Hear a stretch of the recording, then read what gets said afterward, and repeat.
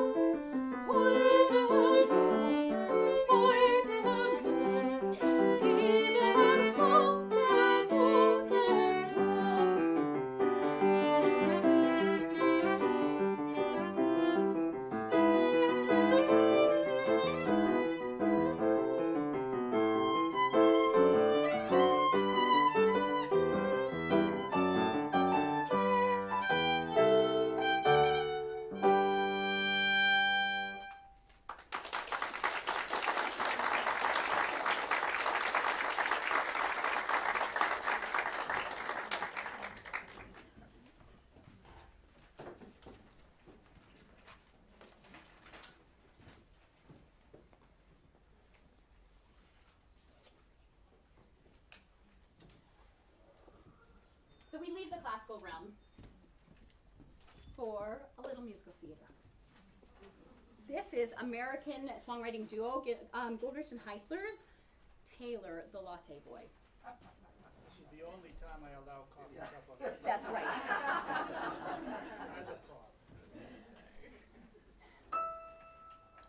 There's a boy who works at Starbucks who is very inspirational he is very inspirational because of many things. I come in at 8:11 and he smiles and says, "How are you?" When he smiles and says, "How are you?" I could swear my heart takes wing. So today at 8:11, I decided I should meet him. I decided I should meet him in a proper formal way. So today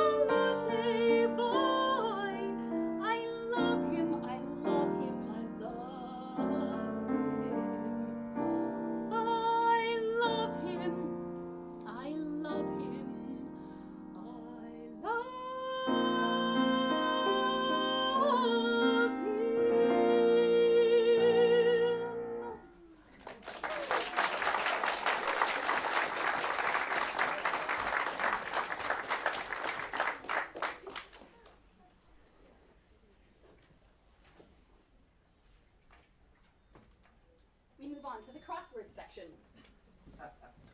This is Celius Dougherty's Love in the Dictionary. Uh, Doherty is an American songwriter and composer and uh, wanted to write a comedic piece.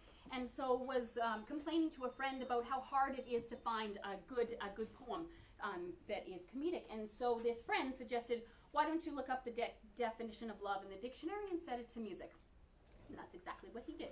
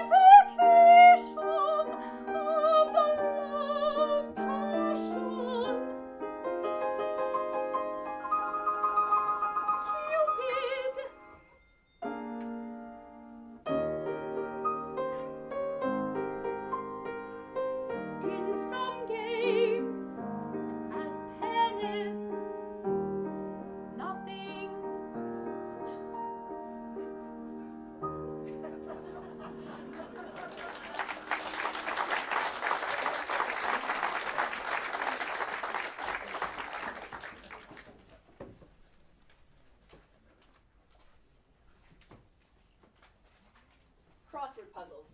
I have loved doing crossword puzzles for as long as I can remember. It started with the today's crossword in the- Edmonton Journal um, several years ago. A friend introduced me to the cryptic crossword, Saturday Cryptic Crossword by Fraser Simpson in the Globe and Mail. Um, that is that is still my favorite. And um, and then of course this year we have the Wordle. And for music people, choral people, the Birdle. And for Canadians, the Canuckle. And if you really like the, the word hurdle with six letters of possibility, there's also the Quordle and the Octordle, but that, that that's it. there has to be a limit at some point. This is crossword puzzle.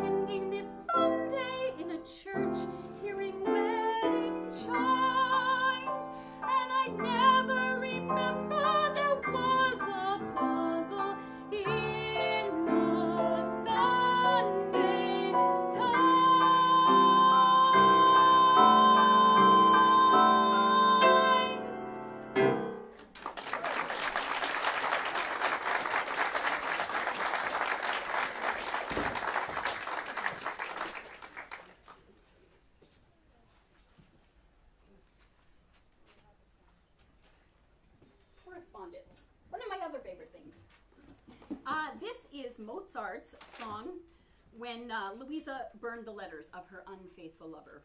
A short song with a very long title. Um, he wrote this in the last few years of his life, right at the same time as, as he was beginning Don Giovanni, and uh, whipped it off quite quickly. So um, here is Louisa.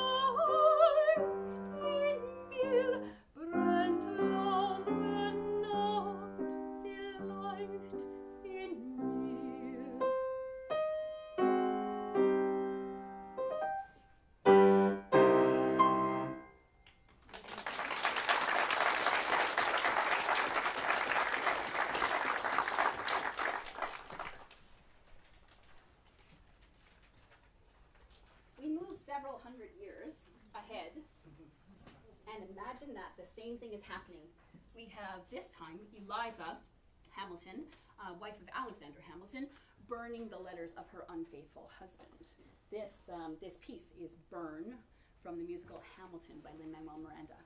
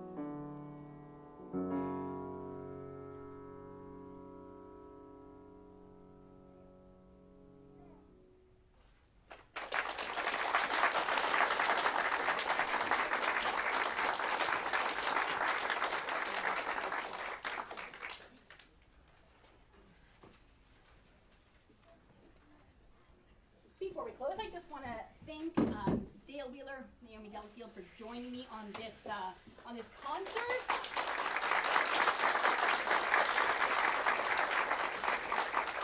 I want to thank you all for coming. I want to thank um, Cheryl and Dick for uh, for hosting this wonderful um, concert series um, where where local performers get to come and perform and and share what we do. Um, this one is. Is vanilla ice cream. It's from the musical She Loves Me. It's based on the um, the French story Parfumerie. That's also been the basis of several Hollywood films, um, like You've Got Mail is one of them. This is vanilla ice cream.